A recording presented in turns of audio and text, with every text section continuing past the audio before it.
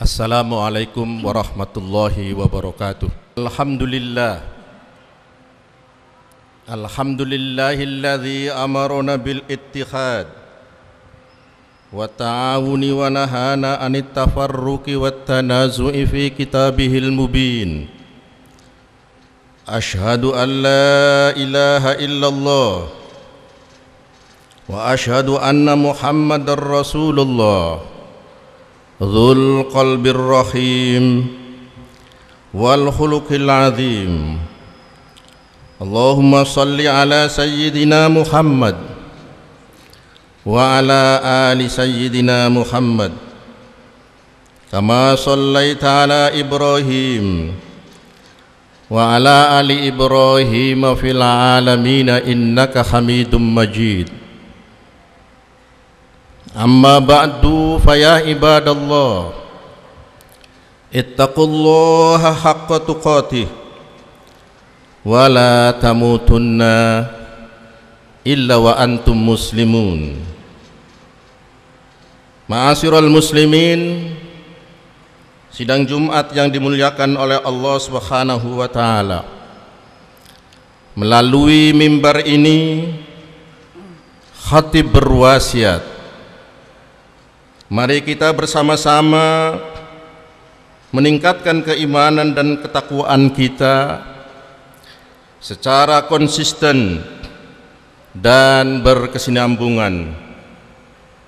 Melaksanakan perintah-perintah Allah dan menjauhi larangan-larangannya. Imtithalu awamirillah wajtinabu nawahihi dalam kesempatan yang baik ini Mari kita bersyukur kepada Allah Subhanahu wa taala berkat rahmat dan karunia-Nya kita semua bisa berhimpun di tempat yang suci ini Masjid Raya Jakarta Islamic Center untuk menunaikan sholat Jumat pada hari ini. Mudah-mudahan Salat Jumat yang akan kita lakukan ini akan diterima oleh Allah Subhanahu wa taala sebagai bekal kelak di akhirat nanti. Karena sebaik-baiknya perbekalan di akhirat nanti adalah ketakwaan kita kepada Allah Subhanahu wa taala. Sesuai dengan firman-Nya Watazawwadu fa inna khaira zadi taqwa. Wattaquni ya ulil albab. Berbekalah kamu sekalian. Sesungguhnya sebaik-baiknya perbekalan adalah takwa. Dan bertakwalah kepadaku Wahai orang-orang yang punya nalar. Ma'asyiral muslimin yang berbahagia dalam kesempatan ini Khatib akan mencoba menyampaikan pendapat atau statement seorang pembaharu muslim dengan statement sebagai berikut. Limadha yata'akhkharul muslimun wa yataqaddamu ghairuhum. Kenapa umat Islam itu mundur terbelakang dan orang lain non-Islam itu maju. Pendapat ini dikemukakan oleh pembaharu Islam Syekh Muhammad Abduh dari Mesir. Beliau lahir pada tahun 1849 sampai dengan 1905. Ma'asyiral muslimin, sidang Jumat yang dimuliakan oleh Allah Subhanahu wa taala. Sekilas khatib ingin menyampaikan kemajuan Islam tempo dulu. Sudah menjadi konsensus umum di kalangan para sejarawan di seluruh dunia, baik dari barat maupun dari timur bahwa bangkitnya Islam pada abad 8 Masehi telah membangun dunia baru dengan dasar pemikiran baru, cita-cita baru, serta kebudayaan dan peradaban yang baru pula. Sejak Muhammad Rasulullah sallallahu alaihi wasallam menyebarkan ajaran-ajaran baru di bidang teologi monoteistis, di bidang kehidupan individu, di bidang kehidupan kemasyarakatan dan kenegaraan, maka membentanglah peradaban Islam pada saat itu dari Granada di Spanyol sampai ke New Delhi India dan Nusantara Indonesia semua dirintis oleh para khulafaur rasyidin. Kemudian dilanjutkan oleh para khalifah Muawiyah dan khalifah Abbasiyah. Ma'asyiral muslimin sidang Jumat yang dimuliakan oleh Allah Subhanahu wa taala. Fenomena sejarah itu begitu mempesonakan dunia barat sehingga orientalis Inggris yang bernama Montgomery Ward menamakan periode empat setengah abad delapan sampai sebelas abad sebagai periode The Majesty that was Islam keagungan kebesaran dan kejayaan bersenyawa dalam jiwa Islam.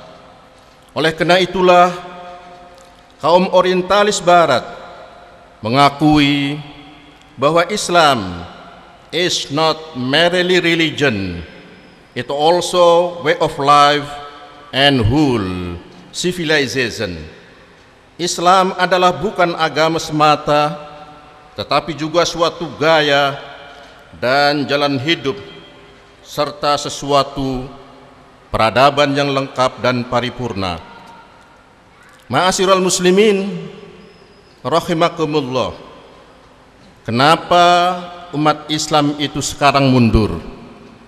Setelah meraih zaman keemasannya, the golden age yang begitu hebat menggemparkan dunia, khususnya dunia barat Menurut Ibnu Khaldun, seorang ahli sejarah, ahli sosiologi, dan budayawan Islam, kelahiran Tunis pada tahun 1332 Masehi, bahwa kemunduran Islam dimulai dengan beberapa tahapan.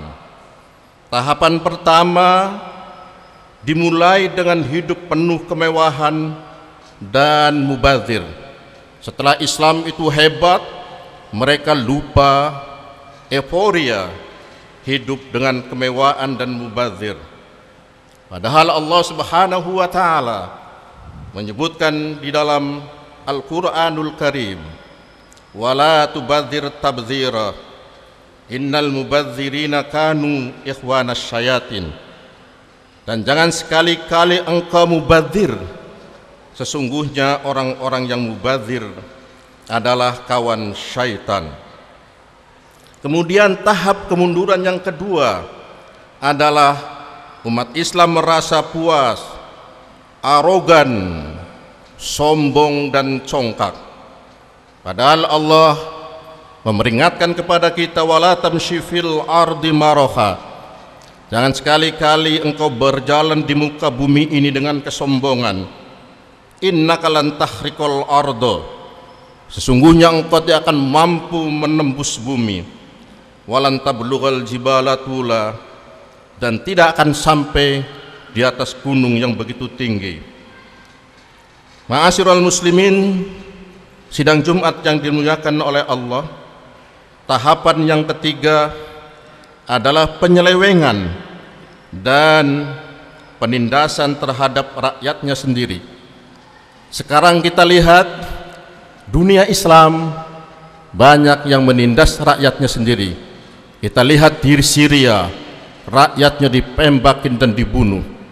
Begitu juga kita lihat di Yaman, rakyatnya ditindas. Akibatnya kekeroposan dan ketahanan fisik dan kelapukan dalam mentalnya, jiwa kesetiakawanan kolektif dalam arti luas baik di bidang kehidupan material maupun di bidang kehidupan spiritual dengan rakyatnya dilupakan. Ma'asyiral muslimin, sidang Jumat yang dimuliakan oleh Allah Selain Ibnu Khaldun, orientalis barat pun berpendapat yang berasal dari Inggris, mereka bernama Lord of Stoddard. Kemunduran dunia Islam adalah antara lain yang pertama adanya ketahayulan dan mistik yang merusak tauhid. Kemudian yang kedua adalah penyelewengan dan penyalahgunaan wewenang. Kemudian berikutnya adalah formalisme kosong. Empty formalism. Biasanya acara-acara formil dirayakan dengan besar-besaran, mengeluarkan uang ratusan juta, mengeluarkan uang ratusan real, tapi kenyataannya tidak berdampak apa-apa. Kemudian yang terakhir, Kemunduran umat Islam antara lain ditandai dengan dekadensi moral. Padahal kita semua tahu bahwa Rasulullah sallallahu alaihi wasallam diutus di muka bumi ini adalah untuk menyempurnakan akhlak, membangun karakter building. Sesuai dengan sabdanya, "Innama bu'istu liutammima makarimal akhlak." Sesungguhnya kami diutus di permukaan bumi ini antara lain adalah untuk menyempurnakan akhlak. Ma'asyiral muslimin, sidang Jumat yang dimuliakan oleh Allah Subhanahu wa taala. Ada orang pandai berpendapat bahwa bangsa-bangsa itu akan maju dan akan kokoh apabila memiliki moralitas dan bangsa-bangsa itu akan mundur dan hancur apabila memiliki moralitas yang rusak. Ma'asyiral muslimin, sidang Jumat yang dimuliakan oleh Allah Subhanahu wa taala. Selain faktor-faktor intern di atas, ada faktor-faktor eksternal atau faktor-faktor ekstern yang menyebabkan kemunduran Islam sekitar abad 11, 12 dan 13 abad inilah Islam mulai runtuh dan mulai jatuh. Faktor-faktor eksternal yang pertama adalah ofensifnya dunia Kristen Eropa. Dunia Kristen Eropa melakukan kegiatan-kegiatan yang sangat ofensif menyerang umat Islam. Dan ini juga dijelaskan oleh Allah Subhanahu wa taala di dalam Al-Qur'anul Karim walan tardo angkal yahud walan nasara hatta tattabi'a millatahum orang-orang Yahudi dan orang-orang Kristen yang ada di barat dan ada di mana-mana tidak akan ridho kepada kamu Muhammad kecuali engkau mengikuti agama mereka.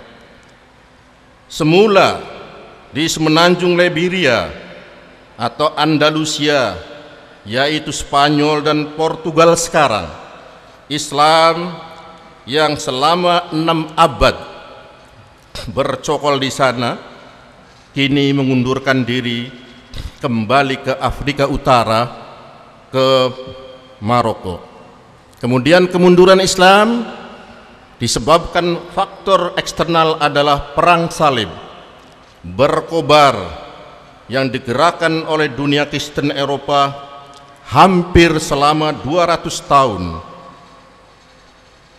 Dalam serbuannya ke kota suci Palestina Yerusalem sampai sembilan kali di antara tahun 1096 sampai tahun 1274 hampir 200 tahun perang salib dan di samping itu Islam mundur akibat dari serbuan dari bangsa Mongol dan bangsa Tartar dari Asia Tengah di bawah pimpinan Timur Leng.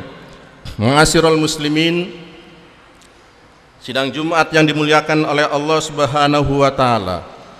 Kemunduran dunia Islam disebabkan oleh dua faktor yaitu faktor intern dan faktor ekstern seperti yang telah saya sebutkan di atas. Oleh karena itulah kita semua umat Islam dituntut untuk bangkit meraih kejayaan kembali. Kita tidak boleh merasa hina. Kita tidak boleh merasa sedih.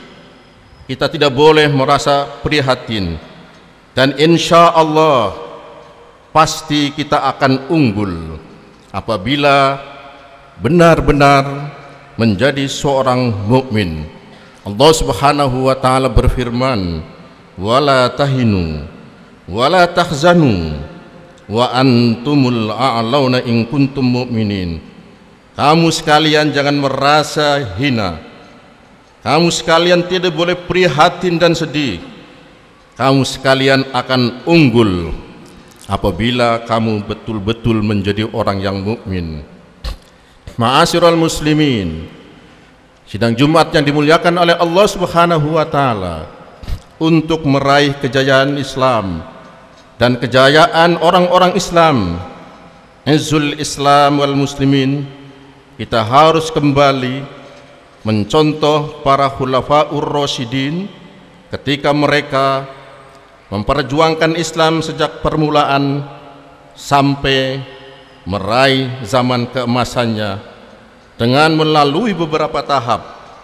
Tahapan yang pertama mudah-mudahan kita umat Islam yang ada di Indonesia ini dan umat Islam di seluruh dunia harus penuh dengan kesederhanaan dan jauh dari penyakit hedonisme, penyakit kebendaan. Kemudian tahap yang kedua, mudah-mudahan kita umat Islam mampu memberikan contoh dengan akhlakul karimah, satunya kata dan satunya perbuatan. Kemudian tahap ketiga keberanian.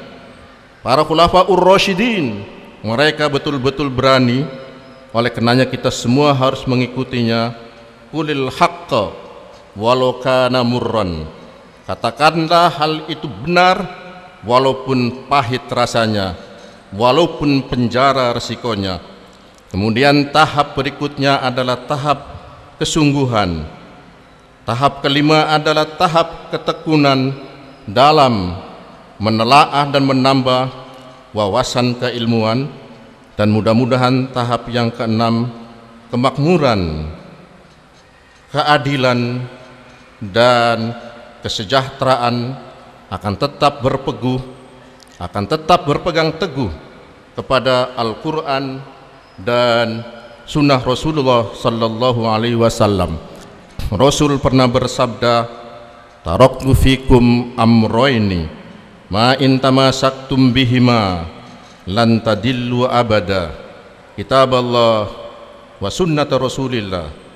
Telah kutinggalkan dua pusaka Apabila kamu sekalian memegang teguh keduanya, maka kamu tidak akan sesat selama-lamanya dan kamu akan meraih kemenangan yaitu kitabullah dan sunnah Rasulullah. Barakallahu li walakum fil Qur'anil azim wa nafa'ani wa iyyakum bima fihi minal ayati wa dzikril hakim. وتقبل الله مني ومنكم تلاوته إنه هو السميع العليم. الحمد لله الحمد لله الذي حمدا كثيرا كما أمر. وأشهد أن لا إله إلا الله. وأشهد أن محمد رسول الله.